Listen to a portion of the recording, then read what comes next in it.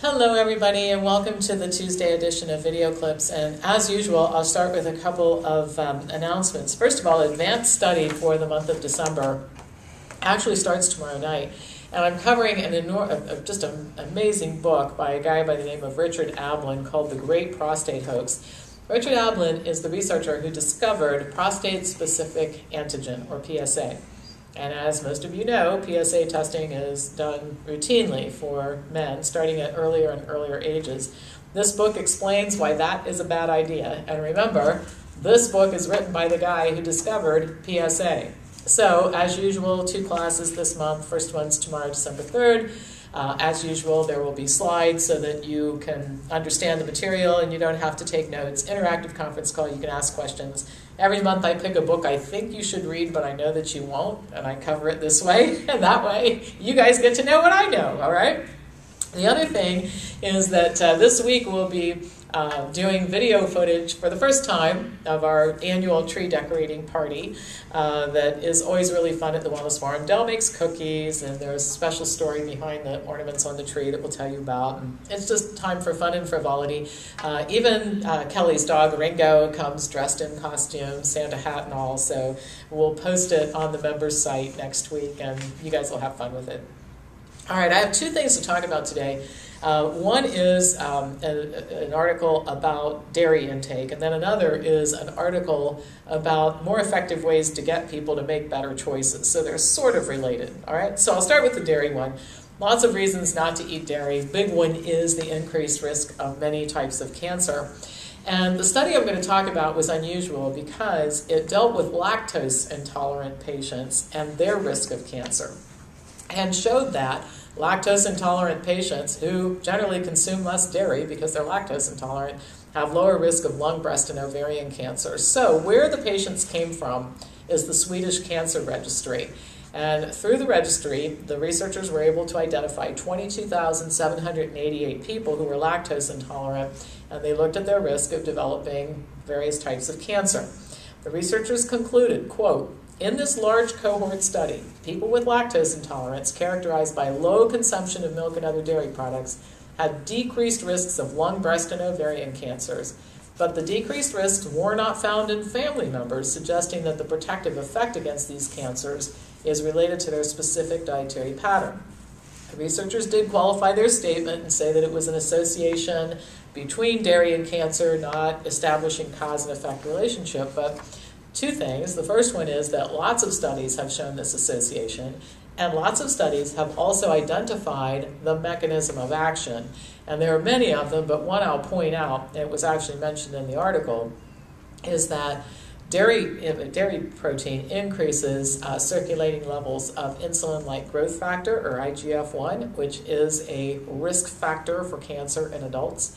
So um, we have cause and effect relationship established. This is just one more manifestation of what that's all about. People who eat less dairy products have less incidence of these types of, of cancer and many others too. So remember, cow's milk is for cows. If you're not a baby cow, don't drink it, don't eat the products, all right?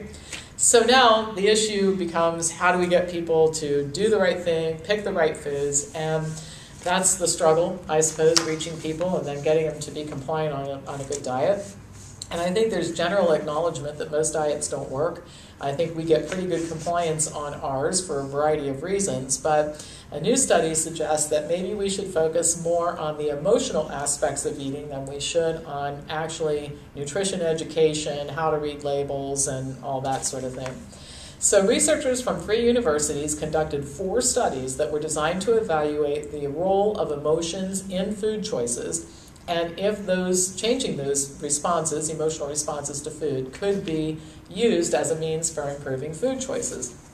The studies involved varying numbers of undergraduate students who, through testing, were identified as individuals most at risk of making poor food choices.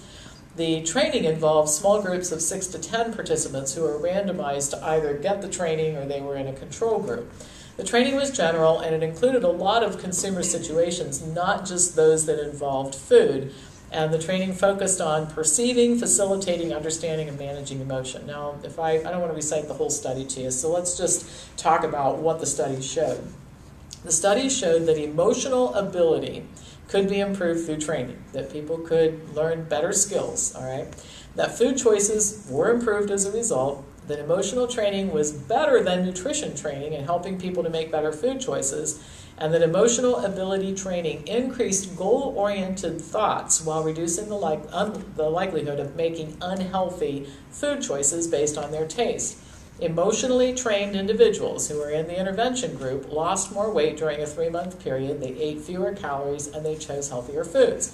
So the researchers concluded, quote, our training program suggests that consumer education programs should reconsider their current emphasis on communicating factual information, such as nutrition labels, to instead stimulate experience based learning that incorporates emotional ability. Now, here's what I think about it I think we have to do both things. People want to and need to understand the relationship between diet and health in order to make good decisions. And I have said for many, many years that taking control of your health is not doing what I say instead of what somebody else says. It's looking at all the information and picking the choices that you think are best for you based on that information. So, in order to do that, you need to understand the science behind dietary recommendations.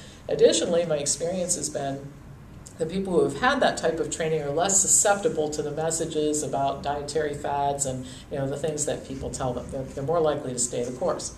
But on the other hand, ignoring other contributing factors to eating poorly, which include emotional uh, eating and emotions, results in failure. Our weight loss programs are populated with hundreds of people who know what to eat and why, but they're not doing it because they eat for the wrong reasons and they tell themselves inaccurate stories about why it's okay to do it.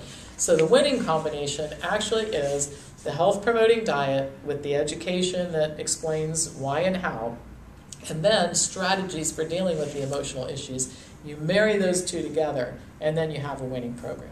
All right? So I hope that makes some sense. And boy, we're coming upon a season when people tend to do more emotional eating than any other time of the year myself included, and doing the also the other thing we all do is we eat because it's there. You, know, you, you think you're full, but that really looks fabulous, and you end up eating it anyway. So this is a time to be mindful about these kinds of things. So I'll just plant that idea in the back of your head, and, and hopefully you'll think about me when you're at the cocktail party, ready to dig into something you're not supposed to eat. All right, that's all for today. As usual, pass this on to anybody who you think would enjoy watching it, and I'll be back to you again on Thursday with more news.